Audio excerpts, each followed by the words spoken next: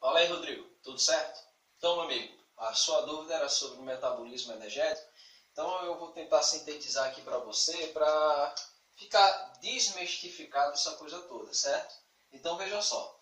É, primeiro de tudo, quando a gente fala de metabolismo energético, estou falando especificamente agora da respiração celular em eucariontes, ok?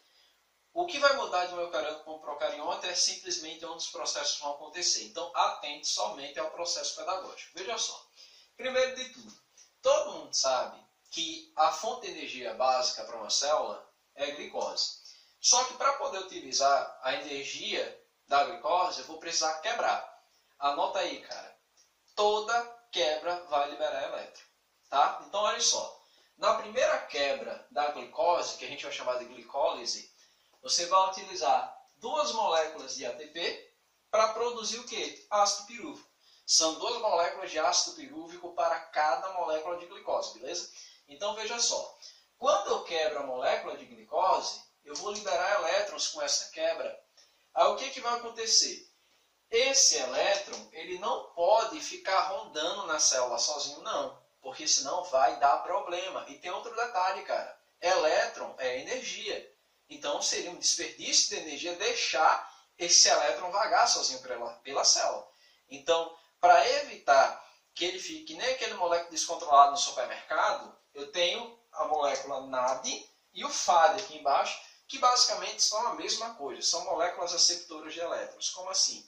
são moléculas que estão loucas, malucas por um elétron. Né? Elas, como elas estão na forma oxidada, elas estão doidinhas para reduzir. Então, como é que elas vão reduzir? Adquirindo elétrons. Então, pego o NAD, ele vai encontrar com o elétron e forma NADH2. Por que NADH2? Porque esse elétron você vai interpretar como sendo o hidrogênio. Mas já fermenta com isso não, cara. Interpreta assim. NAD e FAD são moléculas que vão capturar elétrons para o elétron não ficar zanzando dentro da célula sozinho. Ok? Beleza.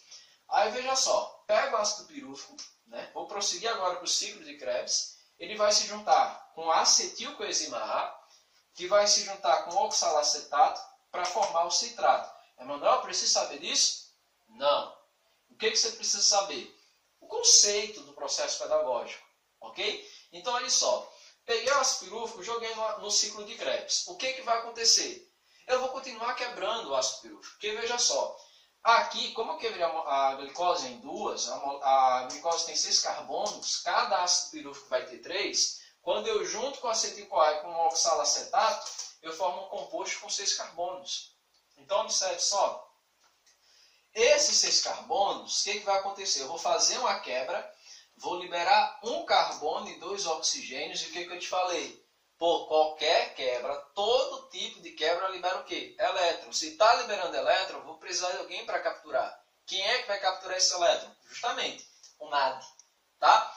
Então, liberei elétron, vem aqui o NAD, captura o elétron que foi liberado pela quebra do citrato e formar NADH2. Vamos aqui embaixo. Cetaglutarato Vou precisar fazer mais uma quebra. Ó, liberei CO2. Se eu quebrei, eu vou liberar elétron. Então vem um NAD para capturar esses elétrons. E lá no final do processo, lá na cadeia respiratória, eu vou utilizar esses elétrons que estão sendo liberados. Então, capturei elétron aqui, capturei aqui, mais uma vez nesse processo. Aí veja, o FAD. Qual a diferença do NAD para o FAD? 6 por meia dúzia, basicamente é isso. FAD e NAD têm a mesma função dentro da célula capturar elétron, tá? Processo pedagógico aqui você já deve conhecer, né?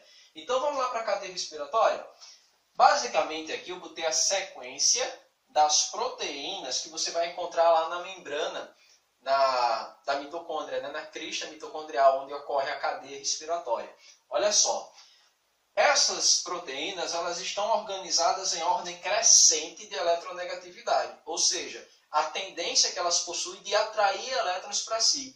Aqui no final, você tem um elemento muito eletronegativo, mais eletronegativo do que todas essas proteínas que estão aqui acima, que é o oxigênio. Tem até um coraçãozinho no meio e ele está vermelho. Por quê? Porque os elétrons que estão no NAD e no FAD, que foram capturados tanto com a glicólise como também dentro do ciclo de Krebs, eles vão ser deixados aqui nessa cadeia respiratória porque à medida que eles vão saltando de proteína em proteína até chegar aqui no oxigênio formar água, eles vão liberando ATP. Aí lá no final da cadeia respiratória você vai perceber que o saldo energético é, é cerca de 30 ATPs. Isso em virtude, em decorrência do simples fato de eu ter capturado elétrons ao longo de todo esse processo. Ok? Então, basicamente é isso. Você não precisa é, saber esses nomes todos. O que você precisa saber? Que o NAD e o FAD são moléculas que vão capturar elétrons e esses elétrons vão ser levados para a cadeia respiratória. Na cadeia respiratória, você tem um conjunto de proteínas que estão organizadas em ordem crescente de eletronegatividade, tendo oxigênio como aceptor final de elétrons. Beleza? Então, cara, basicamente é isso.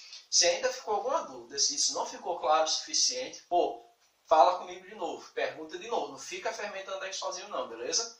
Qualquer coisa, tamo junto. Valeu!